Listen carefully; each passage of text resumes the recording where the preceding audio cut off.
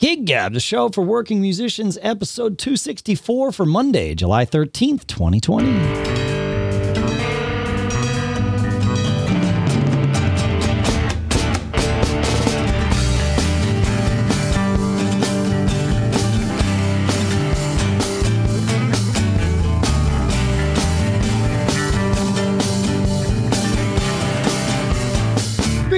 Folks, and welcome to Gig Gab, the show by, for, and about working musicians here in Durham, New Hampshire. I'm Dave Hamilton. Here in San Jose, California, it's Paul Kent. Paul, I was a working musician this weekend. Good for you, man. Yeah, yeah. It's- we talked about it a little bit last week, but but uh, for for those that haven't listened to last week's show, I did uh, uh, a re remount of the uh, the show Hedwig and the Angry Inch, and um, at Seacoast Rep, which I think is one of the only theaters in the country doing anything. Like they were they were the first to start doing streaming and get rights to be able to do that. And they've been written up in the new york times a few times uh, since covid you know quarantine and all that began. And um and so like all eyes are on this theater at least in the in the theater industry which is both a good thing and a bad thing. Um if if something screws up or something doesn't screw up and yet someone that was there still comes down with with covid like i assume it would shut down the entire industry and and kind of put a put a you know plug in that. So both because of that but also just because everybody wants to remain safe uh, things things were very strict i will say for the performance. Now these performances were indoors uh, in the theater. They ran at about 30% capacity, which allowed them to have all the patrons in seats that were at least six feet apart. They they they essentially created groups of of seats in one, two, three, and four. And they asked people if you're going to buy one of these seats, buy all of the, your group because we can't sell any part of your group to anybody else. So if there's a group of of four and you only buy three, well, you just screwed them out of a ticket sale, essentially. You know, Right. go buy a group of three, or if you want those, just buy all four and you know enjoy a seat for your coat, maybe. Um, so, what was the attendance if, at 30% capacity? It was about, I would say, maybe fifty to sixty people Got it. in the theater. Um, all obviously spread out. It was weird for a lot of reasons, but you know, weird seeing you know seats in the center section empty and then seats kind of way up in the rafters, you know, full. But that's just how Mhm. it is, you know. And um, the crowd was um, masked the entire time, including while we were performing. So while they were sitting in their seats, they were also masked. Uh, they were they had their temperature tested and answered the four questions th- that are like have you been in contact with anyone who's had covid and do you have, are you experiencing any of these symptoms and of course if you answer yes to any of those then your money is refunded and you're sent on your way uh, or if your temperature comes up too high um, it's you're sent on your way and uh, and of course we as as the cast uh, and the crew all went through all of that as well. Every single day that we arrive at the theater, we have to be tested and and all of that um, as well. In in addition, everyone in the cast and crew was tested uh, right before the the production began, so that we all kind of knew we were starting with as clean a slate as is as is possible, given the fact that it takes you know three to five days for test results to come back and those sorts of things.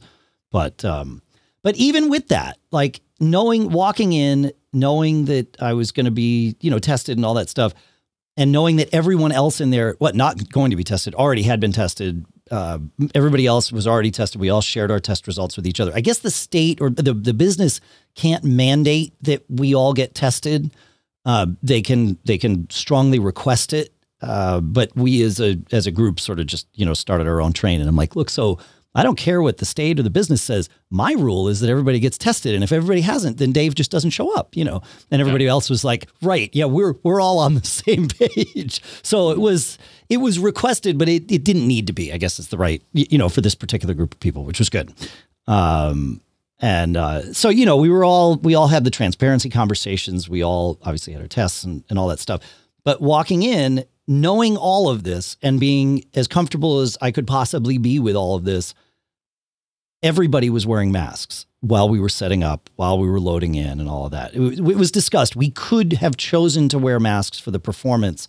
Um, we did not. Like individually, if I wanted to wear a mask and no one else did, they would have been fine with that, right? And and vice versa.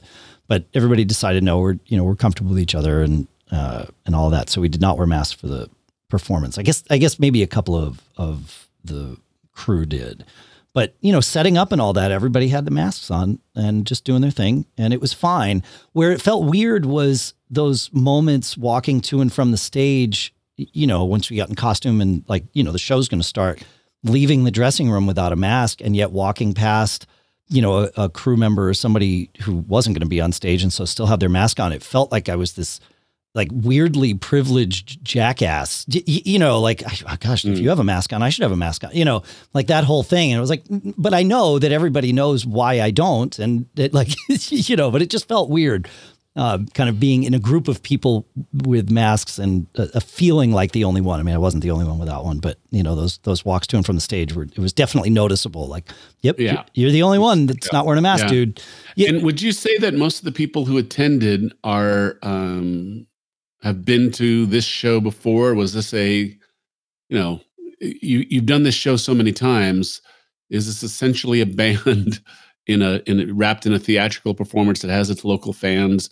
And when you set up shop again, the same people come out. I would say it's 50-50 based on what we know about the the people who were there. Um, Hmm. Yeah, there were there were people that had never seen the show before, and then and then quite a few who had as well. Um, so yeah, yeah, this was our And- I guess our third time doing the show. I think Was there a Yeah. palpable tension in the audience, like discomfort? Like, all right, we're trying this, we're doing it, we're doing it, we're doing it. Um, but you know, like, please, I hope nobody breaks the rules and comes and sits too close to me or takes their mask off. Or like, could you sense that it was not, even though it was a third of the total capacity, was there another layer of vibe that the audience was trying to get back to normal, but but was you know heightened? Well, I yeah, I think heightened is a good word. Everybody was respectful of the scenario, wanting this to be able to happen, but also knowing that you know all it takes is one little screw up, and this whole thing could fall apart. So, I but I think I think it was it was a heightened level of respect for that, not a heightened level of fear. Um, And I, of course, I wasn't. I interacted not one bit with the crowd, right? Like, in, in- I mean, I, I performed for them, but I was, you know, me at upstage and center, you know, behind the drums. I'm, you know, at least 25 feet from the closest person to the stage, and even the the members of the cast that get closer, they're maybe 10 feet, right? Like, so it's there's a lot of distance there. But my family came one night, and and they said they didn't experience like there was no friction with any of the people, uh, you know, that that they saw. No one was trying to break the rules or worried about somebody breaking the. Everybody just like did exactly what they were told, you know, because they understood the the the stakes, right? So, um, so yeah, it worked out, and it was. I'll tell you, it was nice to go out and like for Hedwig. It's a very weird theater show, and and of course we could go in. We could probably spend the next hour talking about all the reasons that it's weird, but I'll I'll I'll, I'll boil it down to one, and it's that at, at points in the show, I get I, I get to and have to play louder than I would on most rock gigs. Um, and and so it was kind of nice to be able to go and like you know really bash it out with a band um, for a couple hours a night. And uh, and and the band is great. You know, it's mostly the same people that have been in the band before. So um, this was you know old home week for for us.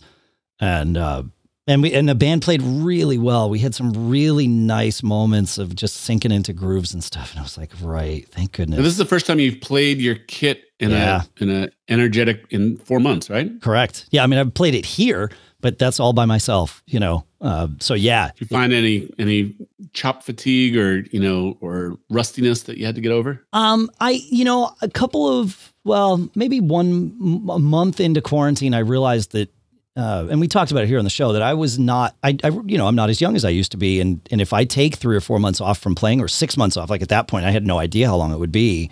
Uh, I don't want to find out what that's going to be like when I, you know, try and get my chops back up. So I started a regimen of playing pretty regularly for long periods of time, you know, more than just 20 minutes here or there. It was, you know, 30 to 60 minutes and really like getting my heart rate up and just making sure I'm, I'm very blessed with being in great aerobic health. So Mm. like, you know, so I like, I rarely get fatigued in that way behind the drums. Um, Yeah. you know, but, but like my hands, like muscles and things like that definitely will, you know, atrophy. It, it, it takes maybe about seven days for me. And then I lose like little things, like my buzz roll will suck. You know, And it's like, oh right, yep, those muscles haven't been used. Like so, yep. But um, no, I so no, I didn't experience any like like playing related fatigue or anything like that. However, three days before the we did one rehearsal on Thursday night, and then and then we did the show on on Friday. And so, like Monday night, I guess after we did the show, I went and uh, and I'm like, I really should play through this show. I mean, I know I've done it a bunch. We've done what you know, 15 to 20 performances of it. I I know the show, but I shouldn't roll into this rehearsal on Thursday, you know, not having played it for, for six months or whatever it is. And mm-hmm. and that was valuable because there were many times during you know just playing through it where it was like, oh right, I forgot, I've got to like drive the bus there. Yeah, I'm glad that this isn't like that. Thir- I'm not. I'm not with other people relying on me the moment I'm realizing these things. So it was, you know, it was good to sort of go through it. But the most fascinating thing was I got maybe 20 minutes into that, and you know I was anxious l- leading up to this thing. I've talked about you know that here on the show, and and of course this was certainly the biggest increase in risk exposure that I would have taken since the beginning of of COVID. Even though you know we mitigated as much as humanly possible and then some. Uh, you know, there was, I was still like aware that I was pretty anxious about it. And halfway through, you know, playing maybe 20, 30 minutes in, my thumb like, gave out on me. Like I've never had an injury. My right thumb gave out. I've never had an injury that that kept me from actually holding drumsticks. Even when I broke my arm, I chose not to play, but I could have. You, you know, I just felt like maybe that wasn't the best thing for my recovery.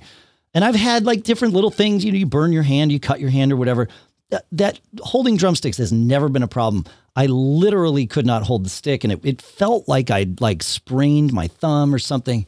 And it's like, man, my head's playing tricks on me. Like this is crazy. And uh, and so I just you know meditated a little bit and chilled out, and then it was totally fine. It's like, man, it's amazing what you know mind over body can do. For sure. so Well, so, I'll tell you. yeah.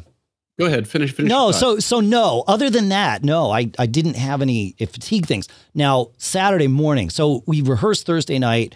We then had that, that Thursday was sort of a bonus rehearsal. We all sort of loaded in, and it was like, you know, we're here, we should play. So we did. Friday we had a band rehearsal and then a, a full run through of the show, and then we did the show. So essentially, we played the show one, two, three, four times. Three on Friday, effectively, and one on Thursday night.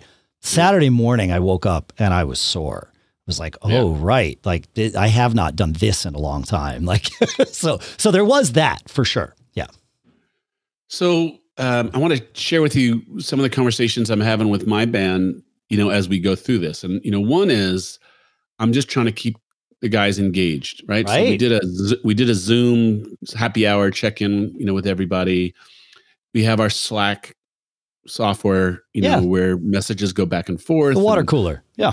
yeah there's there's a little bit of checking in that goes on there but you know as it as it's getting apparent that we may be in this for a pretty long run for my band and my Yeah. situation you know i still you know want to kind of keep as much as practical and possible i want to keep the ship together right and Yep. so i started a conversation i was like like guys we've been offered a couple things like we got asked if we wanted to play a like a, a cul-de-sac, a court, you know, wanted to do something outside, uh, which a lot of people are doing around here, you know, and um, bands are getting invited to kind of do house parties outside in the front yard. But you know, the things for us, and you know, basically it's for the neighbors, and it's mostly softer music. But we, because we hadn't gotten to the place where we really felt comfortable about how Bill could do setup, you know, with the amount of stuff that we have, Yeah. and um, that when we play, a we're loud, and b we draw a crowd, and you know we're we're just concerned about the dynamics of that. Although I'll you know I'll share with you that in my head I'm you know calculating it again. But anyway, I started a conversation and said, you know, guys, this is it's going to happen someday that you know the right situation will come up. Right. Right. And I called, but it's not going to be zero risk. Right? Like that's It's the not going to be zero risk. Yeah. Right. Yeah. Um, and so I so here's the first conversation. I said, "Well, here's the last set list that we did. Could you play this today? If I got it, if something came up and was the right thing next week, could you play it today? Or, you know, should we have a plan where the 12 to 15 new songs that we were about anywhere from 20 to 70% into polishing, you know, that we usually do in the first part of the year that we roll out, when we hit it again, should we be fresh and new and give people something new? And the conversation essentially went like, you know, people will be just so happy to get anything by the time, you know, it's ready for outdoor dance gigs. We can we can stick with our A list of good stuff. you can give them anything they anything you want, they're going to be happy. Yeah, And, and so again, will I'm- you. I'm- yeah. I'm right. torn by that a little bit. I kind of feel like when it's reopening time, it's reopening time. Like it's rebirth. It's Yeah. re, you know, it, like we should come out fresh, fresh with music that, you know, what new music does to a band when you have to like enjoy it um, and bear down and learning it. And, but anyway, there was enough sense that, you know, we can't get together enough to finish the new stuff right now. Right. And so, you know, the the plan A should be uh, you know, let's get our A-list material and just get that set ready. Now, keep in mind the context of this is also that I'm moving soon, right? I'm going to be 3 hours away and the ability for us to, you know, do a bunch of rehearsals is going to get challenging, right? Yeah. Yeah. Um, so I think uh, I, I, I I'm fine with the concept that let's just get our basic show together, and when and when the clouds clear, we will, you know, we will have a show to play.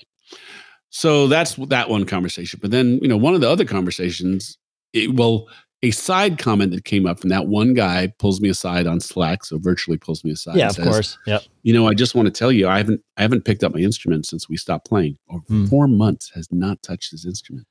I can understand so- that. I mean, like, like I went through a period like that where it was like Mm. anytime I looked at my drums, it was like, crap, I'm not going to be able to play them with people. Like, it was a really depressing thing to even Yeah. think about playing. So I like, I don't know your guys' reason for not playing. I mean, it could be completely different, but I think there's probably more musicians suffering from that than we're hearing about.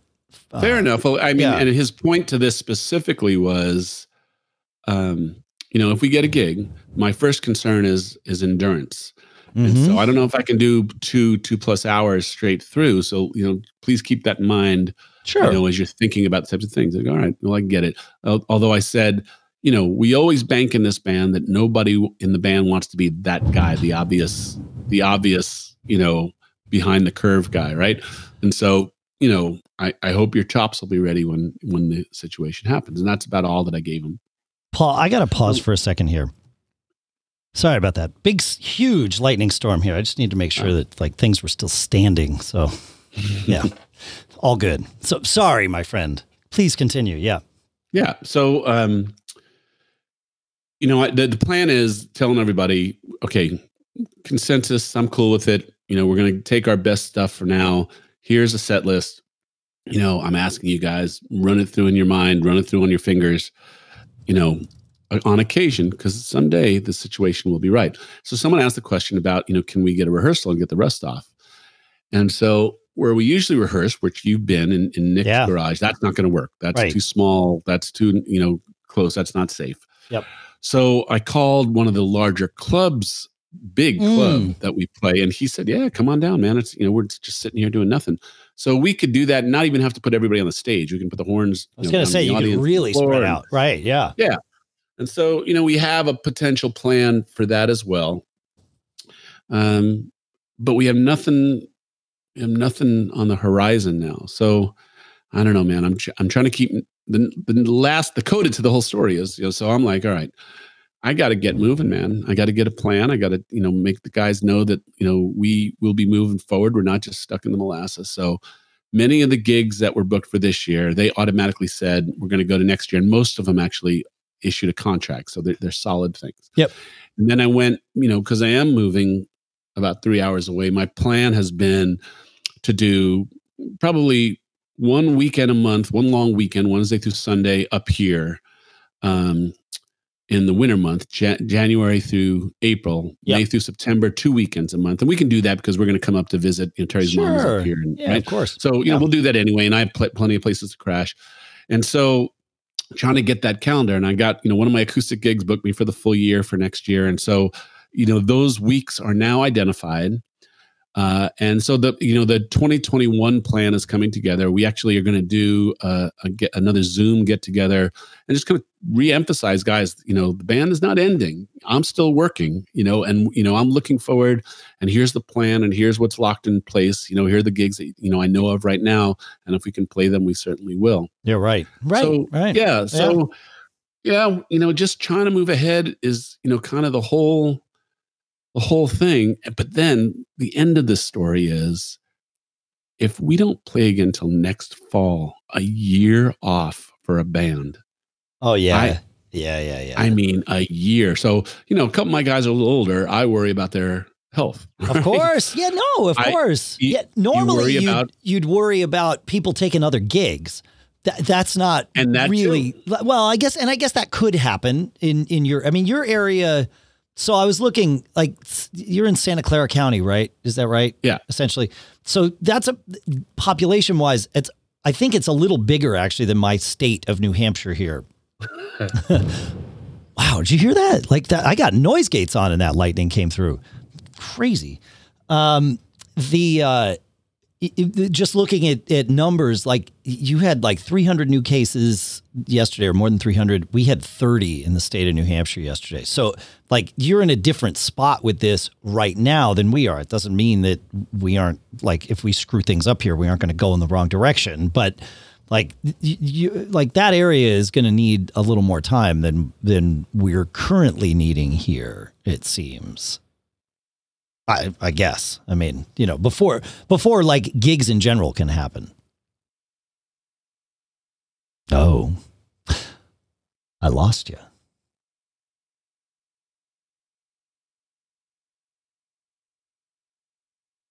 Well, thank goodness for the pause button. Lots of lightning, but we're back. I think, Mr. Kent. Love those East Coast storms, man. Yeah. Storms in the East Coast. So I, I say that we're we're doing better with COVID here at the moment anyway than than you are, but clearly in general we're having a major problem here right now. So uh, it's different problems. it, well, yeah, it's it, you, you don't you don't get to trade one for the other. You you have to That's take them all. Yeah, that's right. Yeah. So Yeah, so I was making the point that you know it may literally be a year before our Mhm. band can perform, and you know things change, people's situations change, totally. and one of the biggest things that I've been mourning is literally 21 years of effort to build a brand, to build a following, to build uh, this, and you know the guys are all fairly confident, and I guess it makes sense that you know when we do play again, it'll be a nice homecoming, a Oh, nice yeah. reopening Yeah. you know it'll be meaningful to everybody i'm sure like you said you know when you played that outdoor gig you said oh, Yeah. you felt a little emotion at the concept of being able to perform music again so and and know, even Friday night. Now we had played the show together with each other essentially three times by that. And there were some moments where I was like, "Oh, thank goodness!" Like you know, a little emotional or whatever. Coming on stage, playing that opening number to the to the show, which is a real energetic. I mean, it's just a great song. Tear me down. Um, you know, right as we kind of settled into the first verse of it, like I felt a tear leave my eye, and it was like, oh Mm. yeah, that's like okay, Mhm. yep, okay, hold on, like everything's gonna be all right. But yep, I didn't expect it because we had played. You know, it was like, oh, now we got to go do it for real. You know, even though we've just done it three times, like, can I just go home? You know, well you know you were So- making the point about about the size of the area here and the number of cases Yeah. so yeah, you know like simon had just gotten a restaurant gig and the county shut the guy down and you know Oh. that gig is gone. Yeah, you know if i was to say what are band gigs now there's a couple of like empty room streaming things going on. There's those front yard concert things that are happening. People you are getting creative. Yeah, they are. And maybe we should it is a good time to kind of hop over. So there was a big thing that happened in new jersey um, on saturday. So one of my favorite bands southside johnny the asbury jukes did a drive-in car concert. Yep. A thousand cars uh uh, you know, big stage, the people in the cars, you know, there was, it was fairly strict. You know, you, you, there's- you I think there was bathroom service, no, no uh, concession service. The rules are four people to a car. You got to stay in your car. Yep. Um, I a lot of pictures were posted. I'm really fascinated by this, and I've been trying to talk to a local booker here about what the possibility of doing something here is. He feels that here, you know, there's just too much risk. There's just too much Yeah. um, political opposition to you know finding a way to getting to there. So we're not as fortunate. And you know, again, New Jersey was as bad as as any place in the world, right? It And so was, but now it's but now it's like way better, right? I yeah, mean, but I when think they started planning this or conceiving that's this, it fair. wasn't way better. no, it wasn't. That's true. That's a good good point. Yeah. Yeah, Yeah. So you know, there's there needs to be a certain amount of political will, or you know, a certain amount of you know political comprehension Yep. that people need something, and if it if it if it can hold up to a certain degree of scrutiny of being safe. Again, I saw a lot of people standing outside their cars, which was not part of the deal, specifically in the rules Mm. and not wearing masks when they were outside their cars.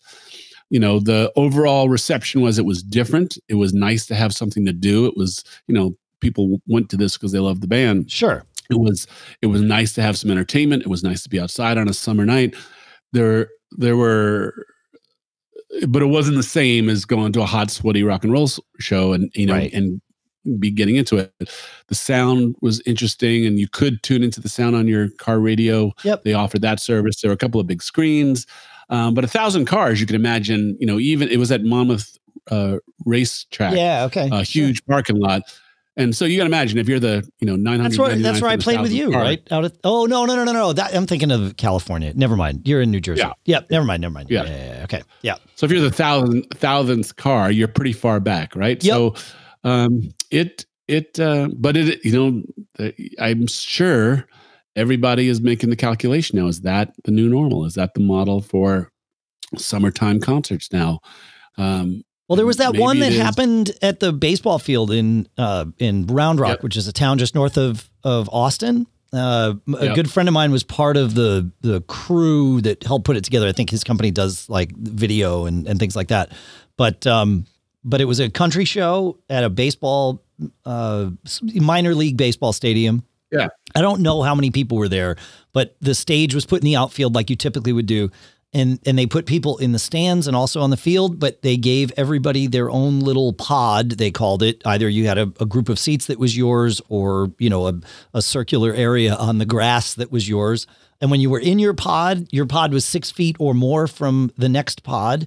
And when you were in your pod, you could take your mask off, but otherwise that you Yeah. know, mask was on. And like everything I've read about it was like, yeah, it worked. No one could be up near the stage, so there was no, there wasn't even a, uh, the risk of the desire of that causing people to like think, well, if I put my mask on and run up to the gate, like I can be right there. Like you weren't going to get close anyway, so that's fine. And um, yeah, like the like there's there's people getting creative. Yeah, it's good. the but the arc of that, you know, I think it was 250 bucks a car. So Wow. 250 Yeah. Bucks okay. times thousand cars. What's that's two $250,000. 250,000. Yeah. Yeah. And um, you know, there has to be some insurance component. You know, there's some labor component. They they built a big stage. They put a big sound system out. You know, I don't, I don't know if the dollars and cents are there. And also, I I'll, I wonder if the novelty of that goes away sooner than later. Right. Well, the novelty will go away when there is a better option. Like immediately, just like with the Yeah. streaming thing, you know, the novelty of, oh, I get to see, you know, a band I like. It might be the Rolling Stones. It might be, you know, Paul. Like it doesn't, right? It doesn't matter. I get to see a band I like. I can tune in on Facebook. Great. I'm going to do that.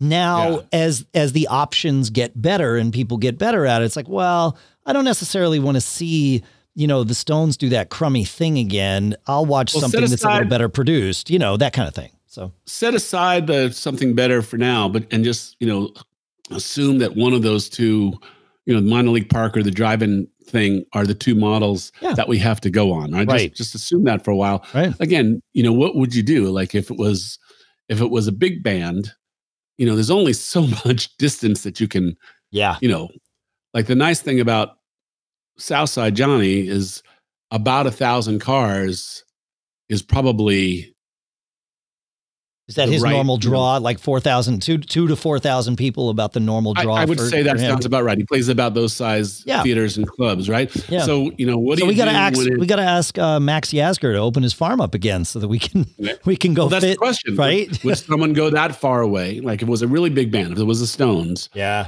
would you pay a thousand dollars per car to be to be you know a thousand yards away? Um, you know, yeah. I think I think the car thing will will will will give way to the socially distanced in a field thing. Because that that acoustic gig I did was originally planned to be a drive-in. And there were two locations at the sort of set of fields that we played. And we were going to play down by the beach where people were going to drive their cars. And you could get out of your car but only on the driver's side so that everybody you know they would space the cars apart. And they they figured out all the logistics for it. And then they're like you know if we do it on the football field people like can still keep their distance and still be closer and nobody we don't risk somebody being blocked by the big pick pick 'em up truck that's in front of Yeah. them you know like Yeah, yeah. all of those questions went away when we said But this is where the whole conversation comes back around, including your gig. Is Yep. like there is a there is a calculation that people Absolutely. will behave. right? Yeah, oh. I mean, Well, that, yeah. I mean, it. Well, it comes down to y- yes. For for me as the performer, and I have no liability over the scenario. My care is that, as I said last week, the people who that I feel safe. Number one, and that the people who attend can be as safe as they care to be. And that means my, you know, my, like I said, my litmus test is do, do I feel like my family could come to this and not be subjected to somebody that that doesn't believe this is real, uh, you know, infecting them? And the answer for, in fact, both of the gigs that I played was yes. Now, if I'm the promoter of the gig, now I have a liability that if mm-hmm. if somebody comes and is an idiot and gets sick, well, now that's on me, right? You know, finan- morally, ethically, yes, but also potentially, you know, litigiously, and and that's bad, right? So, so yeah, you you've got to. I think what like what Seacoast Rep is doing is it makes sense. Like in order to come to a show here, you have to wear a mask, and if and they mm-hmm. tell you if that presents a medical problem for you, you must call us to discuss your options in advance. Do not come to the door and be prepared to have that conversation because the only conversation we have at the door is do you have have you made other arrangements with us or will you be will you be leaving and we'll refund your money? Like that's it. Because they don't want to be in that scenario of trying to negotiate that there. Now, what I happen to know is that if someone is is unable to wear a mask for some reason, they will be provided a face shield. Um, Mm. Now, I don't know that that's better or worse than a mask. I don't, you know, you, you now you're looking through a face shield to see the show. Maybe, I, like, I don't know. But if you've got a medical condition that keeps you from wearing a, a face mask for, you know, whatever, an hour and a half, then then maybe that option is okay for you. And then if it is, well, come on to the theater. We'll get you your face shield and and you go. So yeah. but but I think like that in order for this like I was saying before, in order for this to move forward, we have to have enough success that any that you know once this if this keeps happening and it spreads to other theaters and other stadiums and other things like that like there will be a scenario where like there there's you know a, a con, hopefully relatively contained but still some sort of an outbreak or whatever you're mm, supposed to call that right? Where somebody in the theater gets it and passes it to someone else and and that's bad right Mhm. if that happens with one of the first few things it shuts it all down for months right Yes. if that but if we if we get through 6 8 maybe even 12 months of this before those eventual law of average kind of things happen then maybe we can look and say okay well yes this is terrible that this happened but look at all the other things that followed exactly the same protocol and nothing bad happened so uh, is it okay to keep doing these things? And that's just something we as a people are going to need to decide if is it or not. But if it happened right now, like if if one of us got sick this weekend and we find out, you know, on Wednesday that that somebody is showing symptoms and test positive, like the whole production is shut down. Uh, no, no question. Like that's it, and that's why we're the, the theater is forcing people to wear masks because it's like we can't like you know like we can't put all this work and time and money in to have you ruin it and again there's no guarantees there's no zero risk scenario but Can we talk about gear? Well, I want to talk about gear, but let's finish I, I your thinking, thought. Yeah, yeah, we know we've been we've been stuck on this, and you know we yeah. can just it is our it is our current reality, and it's it taken is. the place of our what what gig did you play this weekend conversation. Mm. But I'm glad you're gigging again. I'm really really glad to hear that it was so many smart people thinking three steps ahead. It was as all the things that would make it right, and that's that's cool. There I, was you know, there was a moment at the end of Saturday night. So we had and we did actually an extra show on Saturday just for cameras because they had set the theater up for a multicam streaming. So we recorded, we video recorded a performance without a live audience. I don't know what it'll be used for. Um, they would have to get rights to do anything with it, and I and they're probably working on those. But so we had done the show one, two, three, four, what, five, six times by the by the end of Saturday night. Only two performances in front of a crowd. And as we finished that show on Saturday night, which was a really good show, we had some really nice moments. Uh, our guitar player Ken, uh, who sits like right in right off my hi hat, and he and I lock in throughout the whole show. Um, and uh, at the end of the show, he came back to give me a high five. You know, we were feeling triumphant. And now we had both been like we sit next to each other in, in the dressing room, like we'd both pretty much accepted that you know by that point if one of us came in having this we're, both like exposed to each other. There's no question about it. But we had not touched each other each other. Like that just hadn't happened. And he came to give me a high five and he's uh, 63 so you know in that age range of where things could start to get complicated even if you don't have other complications. And you know we both sort of paused and then processed it quickly and, and, and, sort of completed the high five as best you can from inches away, you know.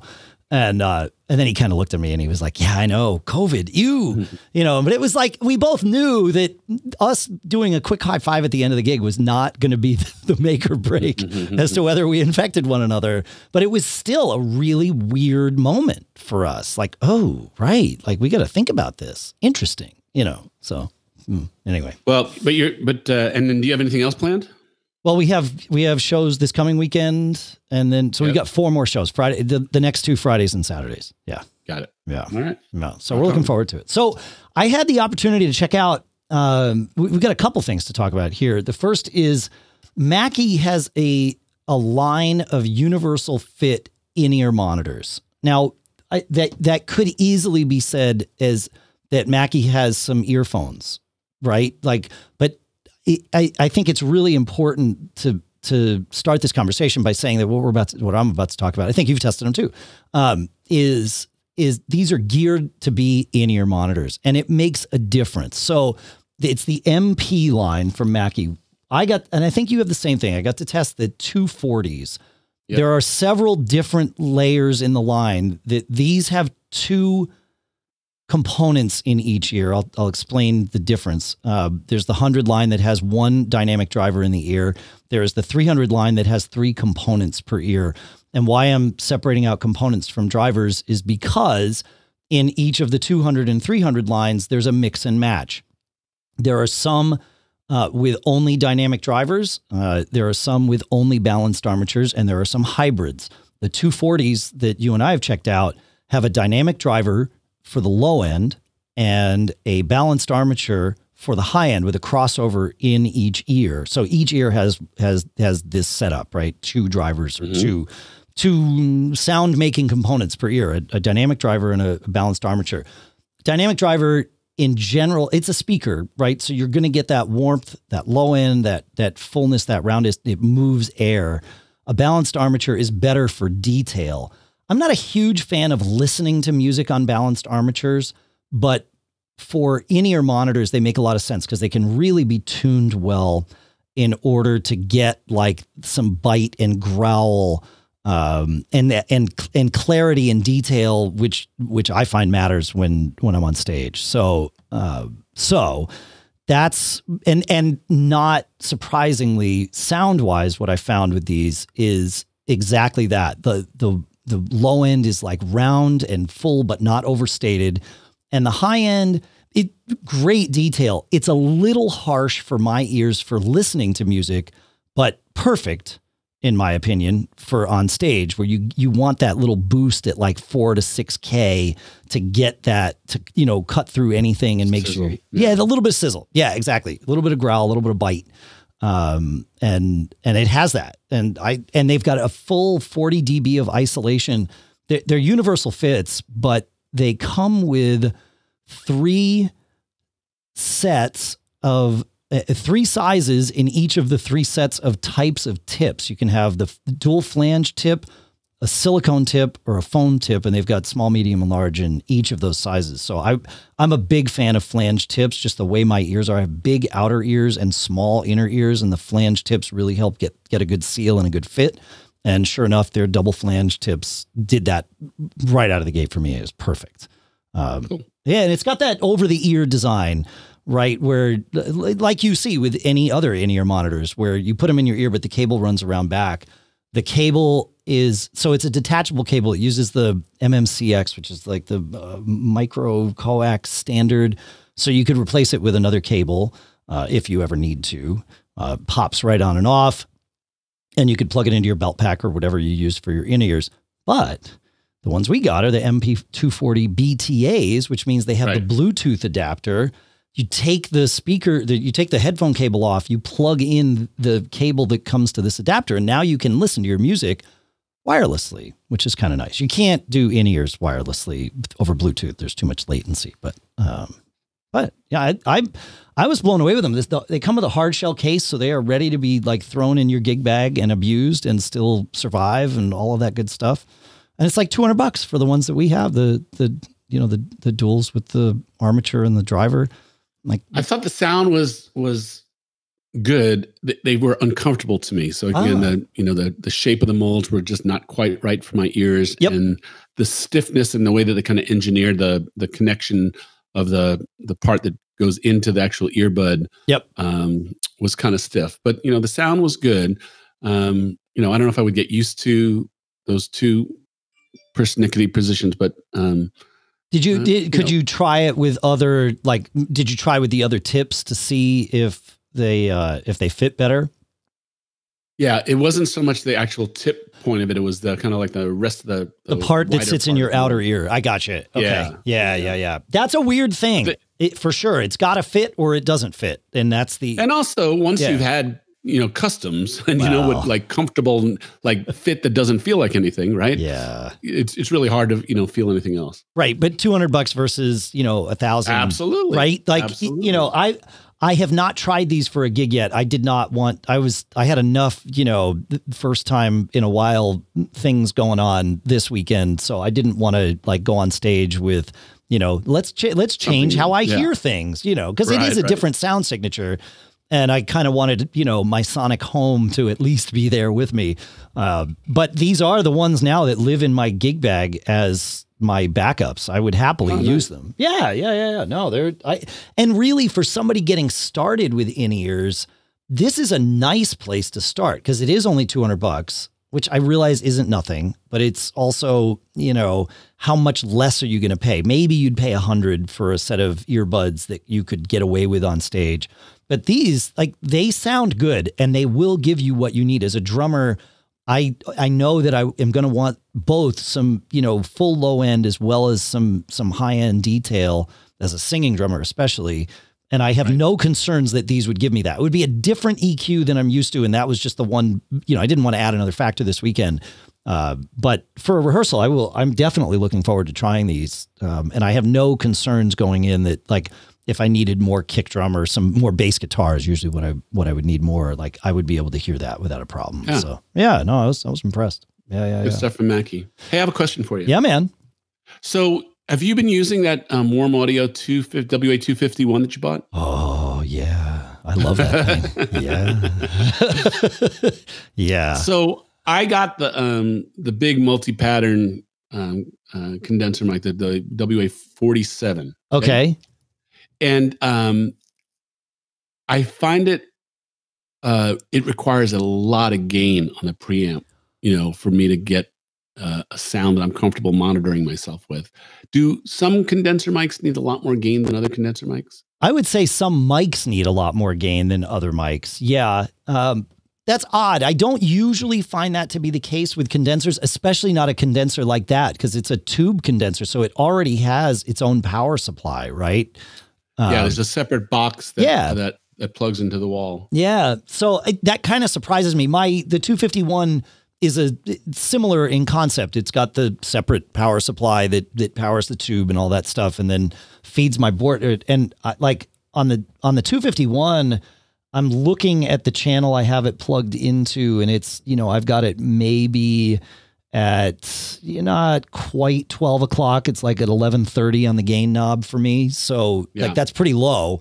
Uh, but some mics, yes, like the one I'm talking into now is a dynamic mic, the Heil PR40, and it requires a crap ton of gain. So yeah. Now you can if you're if you're you don't want to run your board or you don't want to run your channel strip like with the gain wide open because it usually starts to like distort and discolor things as you get kind of near the top end.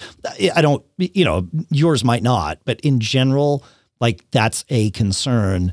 So there are two pieces of gear that I've found helpful for dynamic mics. I don't know if I would use these on a condenser, but there's uh, they're essentially inline um, uh, gain boosters, if you will.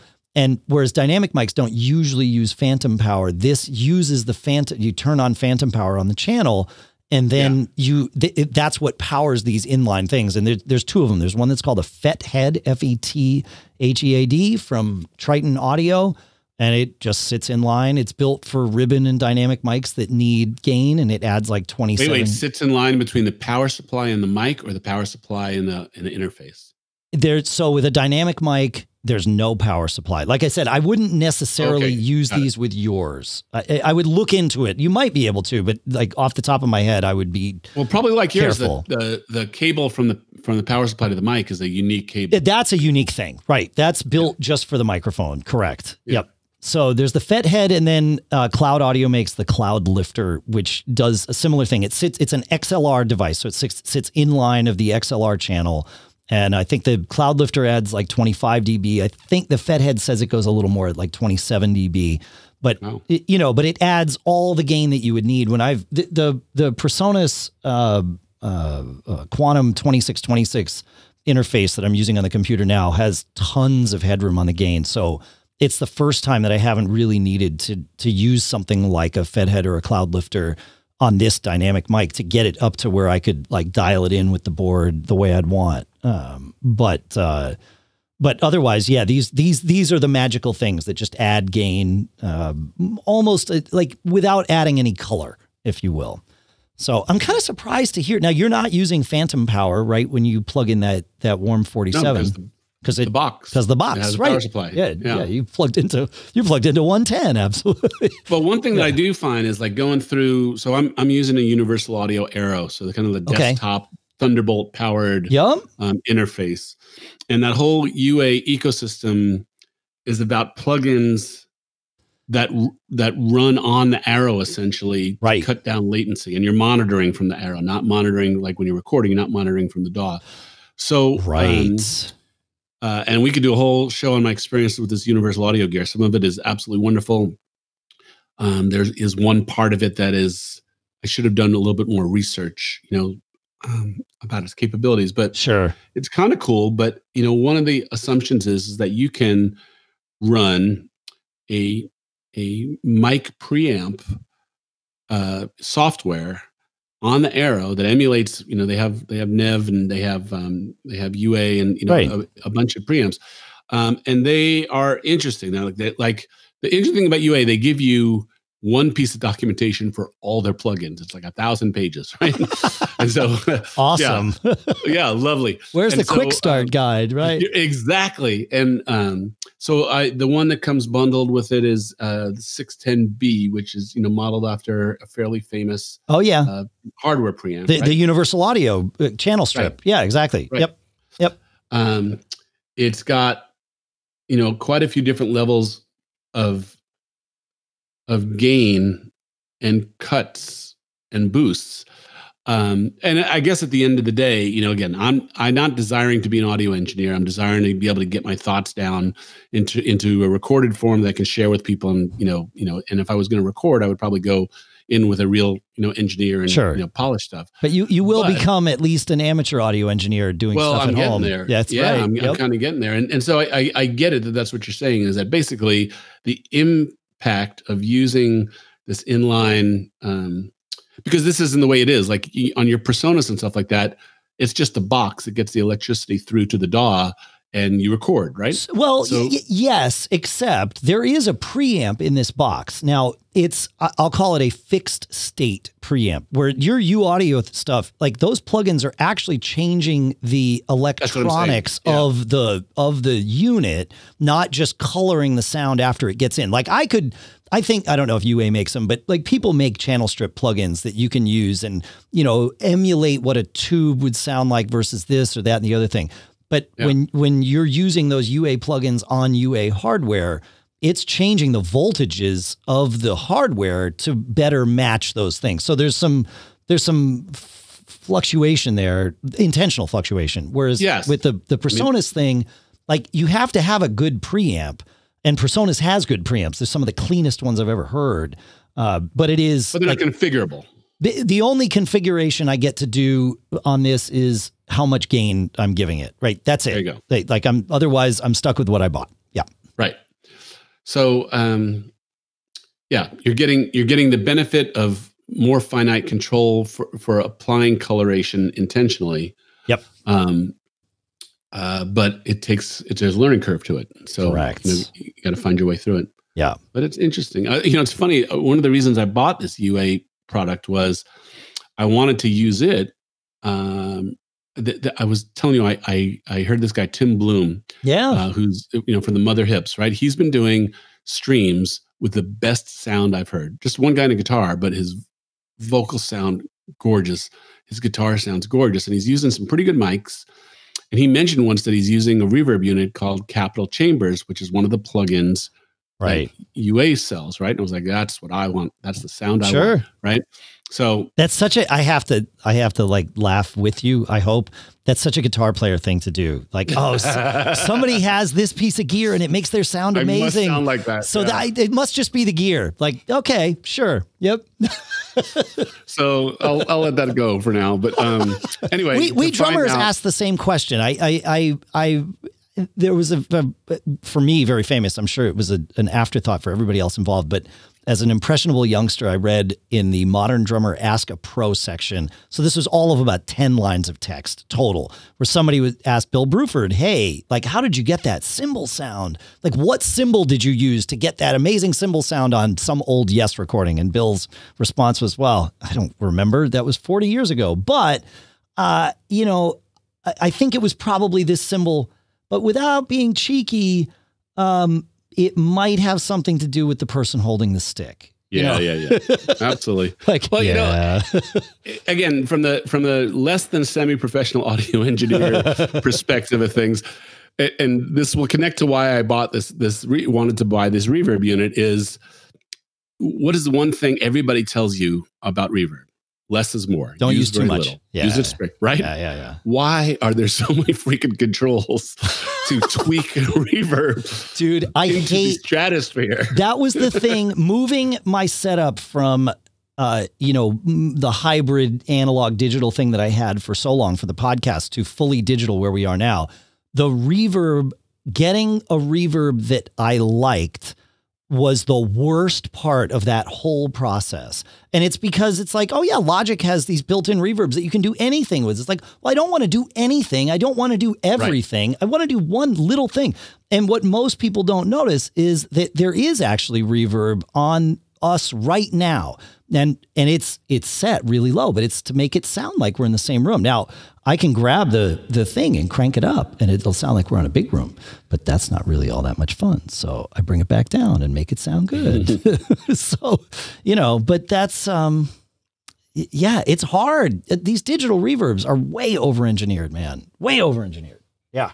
Well I, I think that the task of professional audio engineering is you know finding unique sounds for artists and i get it you know that's yeah. that and that's what a lot of the stuff is built for oh so the the the sum of my story is i bought this universal audio arrow mostly to to run this reverb and okay. the reverb doesn't run on this because oh. it uses too much processing power if you're using any other plugins so, so could you use that reverb if you ran it in software in logic or whatever daw you use um, I suppose again, I was trying to keep my setup as simple as possible. Totally for totally. streaming.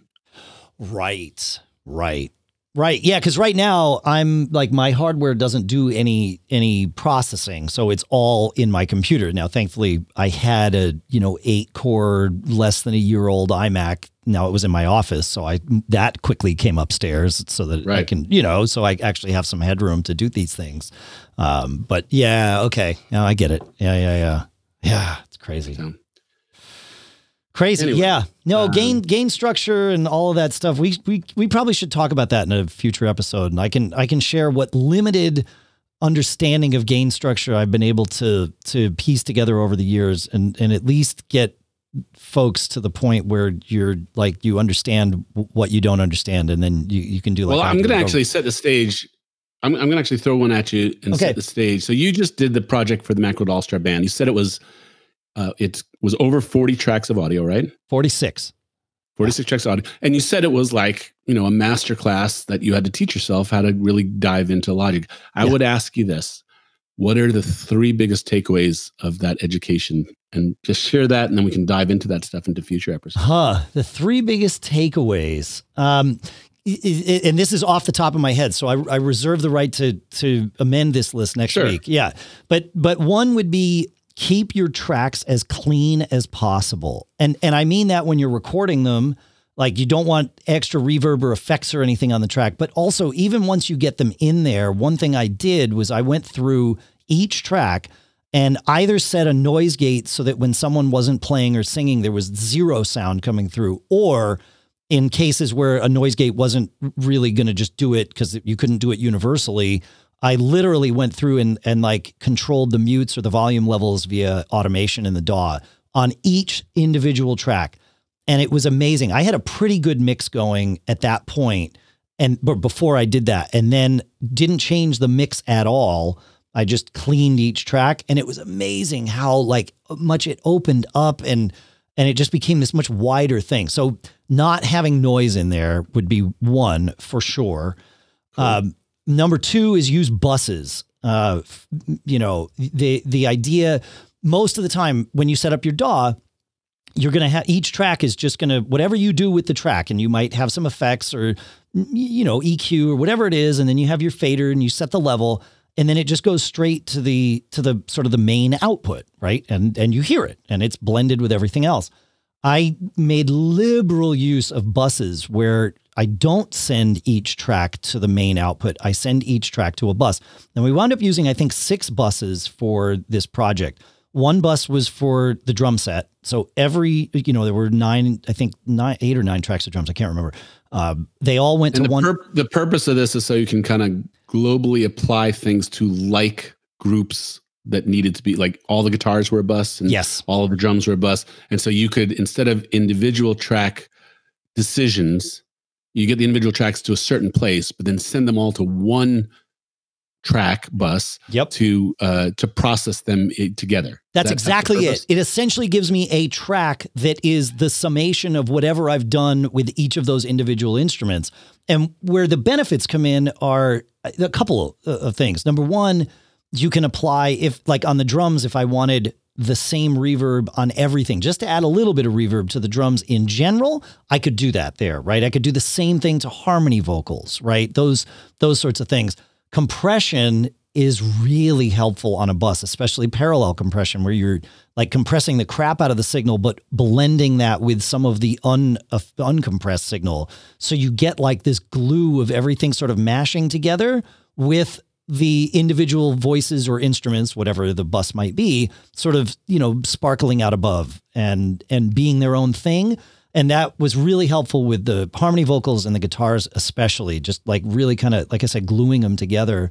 And and then one real benefit that i didn't go into it thinking is i, I had mixed all the harmonies sort of centered on zero. Like there were no harmonies in dead center but it was like oh i'll take you know paul's harmony and put it over there and brian's harmony and put it over there and just kind of built this thing and with one of the things with the the harmonies, there was the, you know, in each chorus there's the feeling all right. And then the, the lady singers, which were me and Skylar, go, "Ah," you know, there's that. And I had done the same thing with that. And we were having trouble like just getting it to sit like so that you heard it. Because if you didn't hear that, you might think, why did they not do that?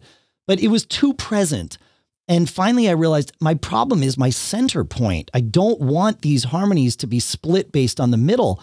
I want them to be Mm. kind of, you know, those ladies over there, but Yeah. individual voices. And because I had run them into a bus, all I had to do was take the pan control on the bus and say, move, move left 10 feet.